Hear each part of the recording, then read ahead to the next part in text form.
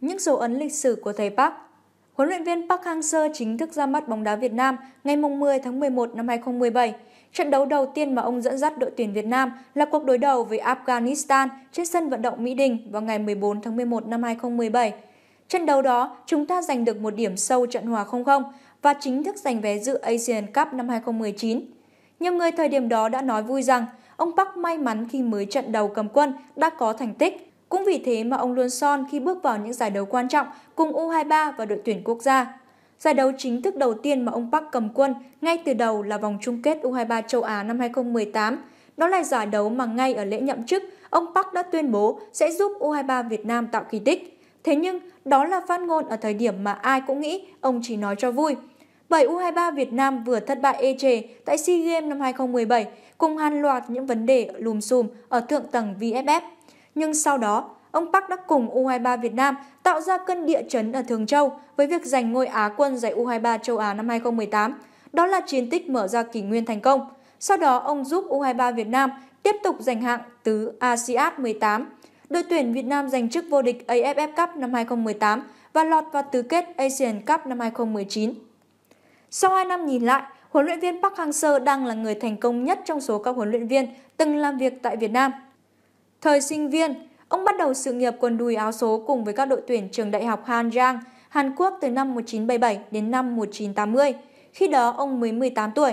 Đây là giai đoạn mà thầy Park đã thi đấu hết sức nổi bật và được chọn làm người đại diện thanh thiếu niên lứa tuổi U20 tham dự giải bóng đá trẻ châu Á lần thứ 20 vào năm 1978. Tham gia nghĩa vụ quân sự, sau đó, ông chính thức bắt đầu sự nghiệp bóng đá chuyên nghiệp khi chuyển sang thi đấu cho câu lạc bộ Korea First Bank FC vào năm 1981. Tuy nhiên, ông chỉ gắn bó với đội bóng này chưa đầy một mùa giải do phải thực hiện nghĩa vụ quân sự bắt buộc dành cho mọi công dân Hàn Quốc. Trong thời gian phục vụ quân ngũ, ông tham gia chơi bóng trong quân đội với câu lạc bộ Army FC và gặt hái được rất nhiều thành công nhất định. Lên đỉnh với chức vô địch K-League, ông kết thúc nghĩa vụ sau 2 năm và chuyển đến câu lạc bộ Lucky Gold Star FC, bây giờ là FC Seoul. Đây cũng là giai đoạn mà ông Park Hang-seo gặt hái được những thành công rực rỡ nhất trong sự nghiệp cầu thủ.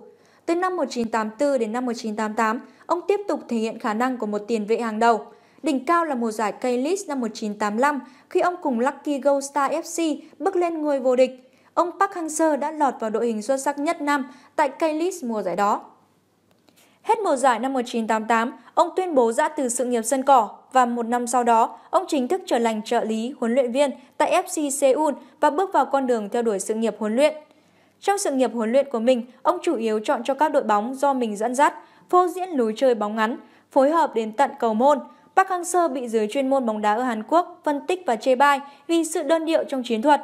Ông cũng được chính giới truyền thông quê hương đặt cho biệt danh là Sleeping One, có nghĩa là ngài ngủ gật trên băng ghế chỉ đạo trận đấu. Trong màu áo đội tuyển Hàn Quốc, ông Park Hang-seo đã được gọi vào đội tuyển Hàn Quốc từ rất sớm. Chính ông là người đeo băng đội trưởng U20 Hàn Quốc và giành được chức vô địch giải trẻ AFC Young Championship năm 1978 tại Bangladesh. Vào ngày 8 tháng 3 năm 1981, lần đầu tiên ông được khoác lên mình chiếc áo của đội tuyển quốc gia Hàn Quốc. Đó là cuộc đối đầu với đội tuyển Nhật Bản và đội bóng của ông Park đã giành chiến thắng với tỷ số 1-0. Sự nghiệp huấn luyện sáng chói khi sang Việt Nam Thời điểm ông Park Hang-seo đến Việt Nam, không phải ai cũng có sự lạc quan và niềm tin ở ông, bởi người hâm mộ luôn kỳ vọng ở các huấn luyện viên nội, ngoại, nhưng chưa ai tạo được sức bật lớn để đội tuyển của cục chúng ta có được vị thế tầm cỡ ở châu lục, chứ chưa nói thế giới. Và rõ ràng tâm lý đó của người hâm mộ, của giới chuyên gia khi ông Park đến Việt Nam là điều dễ hiểu. Trước khi sang Việt Nam, ông cùng đội Changwon City kết thúc mùa giải Nation League, hạng 3 Hàn Quốc ở vị trí thứ 6 trên 8. Khi sang Việt Nam, ông cho biết sẽ dồn toàn bộ tâm sức cho công việc mới với đội tuyển Việt Nam. Sau khi huấn luyện viên Nguyễn Hữu Thắng từ chức, Liên đoàn bóng đá Việt Nam đã họp và báo cáo lên Tổng cục Thể dục Thể thao về chủ trương mời huấn luyện viên ngoại dẫn dắt đội tuyển Việt Nam. Có 15 ứng viên với bản lý lịch rất tốt, nhưng các cuộc đàm phán giữa VFF e với họ đều bất thành. Lý do chính đều do vấn đề tiền lương. Theo thứ tự ưu tiên, ông Park Hang-seo là cái tên xếp thứ hai sau ứng viên số 1 Sekizuka Takashi của Nhật Bản và trên một huấn luyện viên đến từ châu Âu. Huấn luyện viên Takashi Sekizuka được ưu tiên thương thảo đầu tiên khi từng đưa đội tuyển U23 Nhật Bản giành vị trí thứ tư tại Olympic London năm 2012, từng làm trợ lý cho huấn luyện viên trưởng đội tuyển Nhật Bản và được các câu lạc bộ hàng đầu Nhật Bản đánh giá cao về chuyên môn.